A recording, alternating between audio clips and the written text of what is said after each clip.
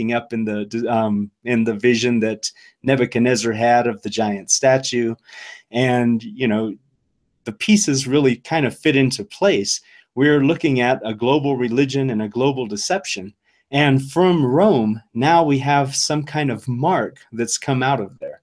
Well, one of the things that happened around, you know, we all know this, the third century, that's when Constantine kind of adopted this sect of the Jews and decided to make it his own state religion with no formal training. In fact, the only conversion he experienced was a vision from his own sun god while he was praying to Mithras. And from that point forward, his empire became a Christian empire.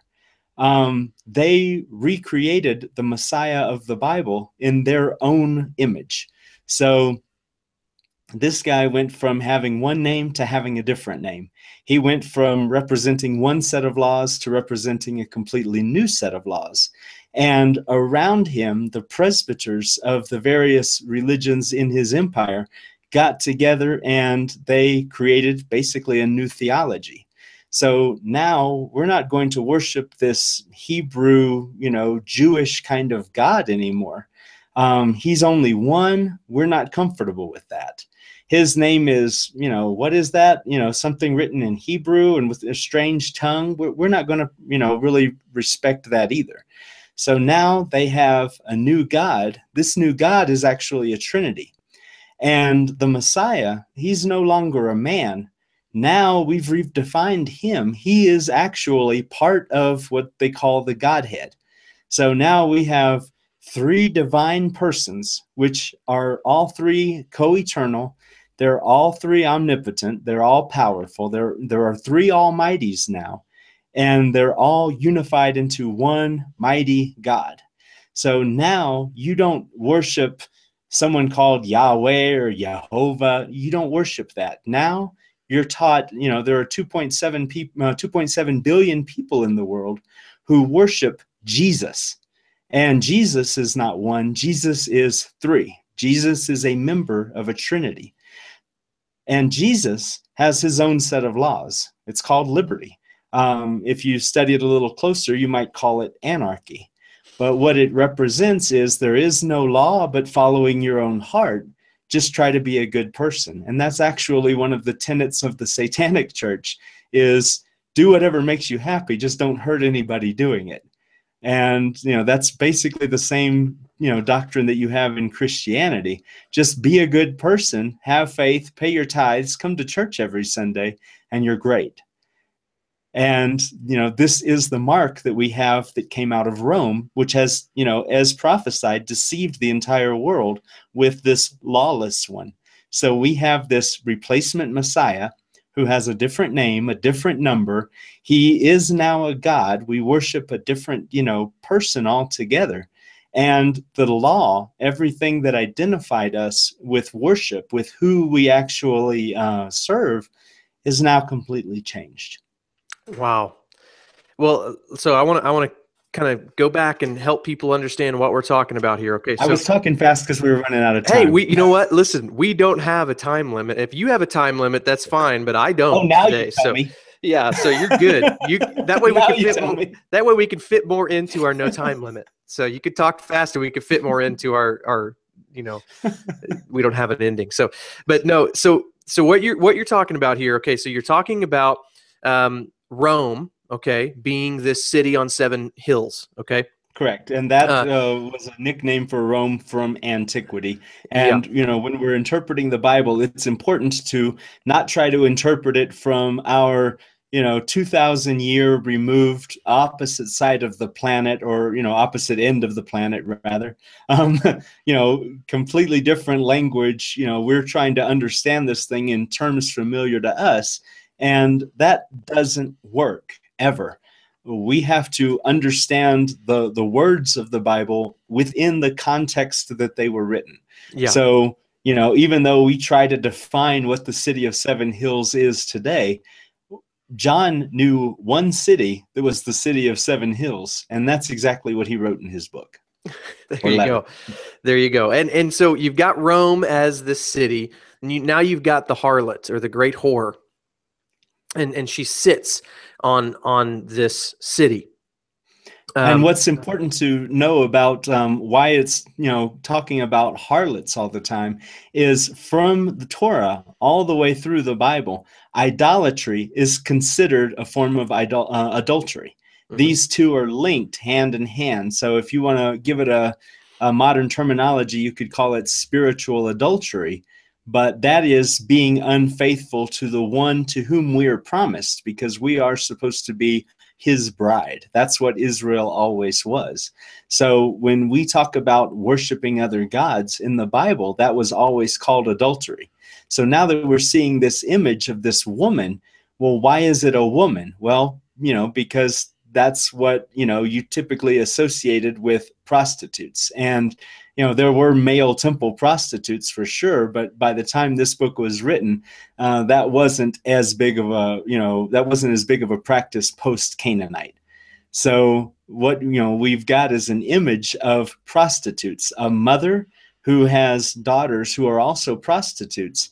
And you know they are running around trying to cause israel uh, the people of our creator to commit spiritual adultery with her or with them yeah and you know we, we talk about this a lot on the morning show for those of you who listen regularly but something that i want to point out here is that so we've got the harlot which would be basically the I, if i'm not putting words in your mouth the roman catholic church or the roman catholic you, religious empire um, Exactly right. And uh, and so then the daughters came. You mentioned this. You know, uh, uh, the Roman mm-hmm. Catholic Church didn't have a bunch of giraffes as children, uh, and most likely the children are going to have a a fair resemblance to their mother, correct? And so if you look and when you look at uh, you know their actual doctrines, you know they all worship on the same day of the week, and that is on Sunday, the first day of the week.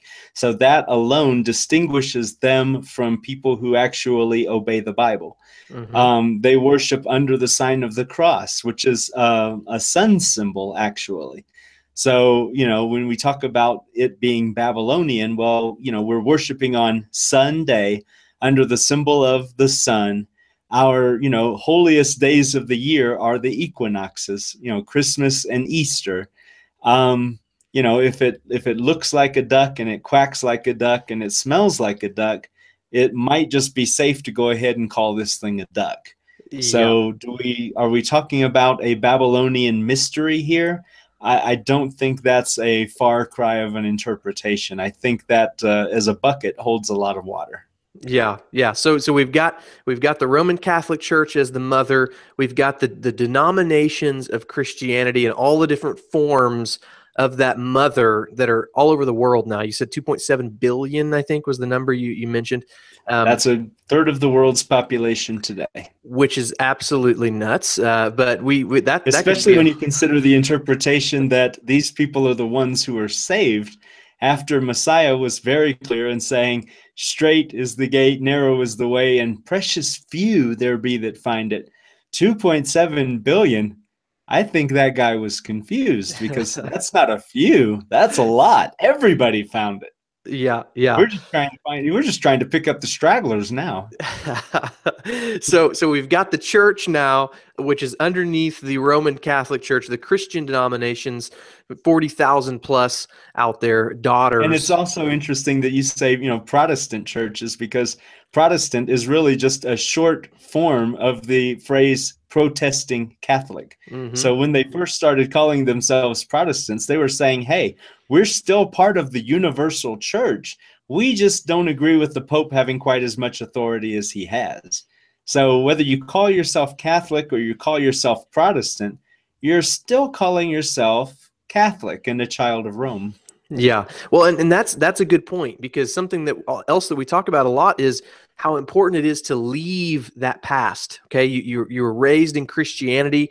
You've got to you've got to get all of it. You said it earlier.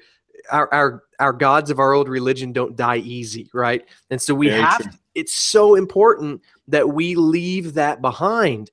And and the reason is is because for, from day one, people started to see a problem with the universal church, but they weren't willing to leave it They, they saw a problem. Oh, there's a, there's a major problem here. There. Oh it's man, a there's pig, a major. but maybe if we just put some lipstick on it, it'll be all right. exactly. And you know what, Paul? I see this all the time in the Torah movement today. People see the problem with the church and they start following Torah, quote unquote, and observing the holy days and they keep celebrating Christmas and they still hold hands with people on Sunday morning in church service and they, they will not leave that. So really now they're just protesting protesting Catholics. You know, they're, they're, they're just they're, they're just extending the name, but they're not changing the name. You know, they're not Well, getting we've out. taken the pig, and we've heard the complaint that it's an unclean animal, so we gave it a bath, and we told it not to go back in the mud, and we put some deodorant under its little arms, and you know we've we filed its hooves down, and we've put lipstick on it, and you know it just there has to come a breaking point eventually where we say you know we've done everything we can, but it's still a pig. Yep, yep. It's still a pig. You know, I went to audio school, and one of the first, one of the main, main things that stuck with me when is learning audio engineer is you can't polish a turd. If if if what you're trying to mix and master in the audio world is just bad to begin with, it's still going to be bad in the end. You know, so you, got to you got to get it right up front. You know, and that's that's what I think people don't recognize. This this idea Messiah talks about being born again, losing your life to find it. You know, new creation. Paul says in Second Corinthians this is important and we talk about it all the time about how you have to get completely out if you carry and, and a dead man can't take his beliefs with him you know that's that's the number one important thing if you are going to die and be born again um, your beliefs about jesus your beliefs about the christian church your beliefs about holidays and family and friends and and everything you are have to go in the grave and then you will be raised as a new creation with with new beliefs, with new friends, with new. Fa- Messiah said, "Who's my family?" But those who do the will of my Father in heaven. You know, he, he's trying to paint this picture of, yeah, you might have a lot of blood relatives, but if they're bearing the mark of, you know, constant Jesus over here, they, they may not be your family anymore if you want to have my mark. You know, so so you, we have to we have to understand what he means by that. So going back here, so we've got the harlot, You're, which you're, is you're describing a little something that we like to call repentance. And exactly that's trading in all of our, you know, used, you know, abused junk, our all of our religion, all of our beliefs, all of our practices, trading all of that junk in for his. And you know, replacing everything that we've got with what he's got. So th- there is actually a word for what you're explaining, and it's it's called repentance. Yes, and and that and that is an important understanding because that's not taught. We're taught to confess. Just feel Right. sorry for yourself, and you're good. Yep. Oh, I've sinned. So there we go. I've confessed now. Everything is good. I've sinned. So I'm no. It's it's a turning around. It's a complete change in direction. It's a it's a being. You know. I mean, it it has to involve a death of some form, and that's we, we see that in the messianic writings over and over and over again. And you know what? We actually see it in the Torah too.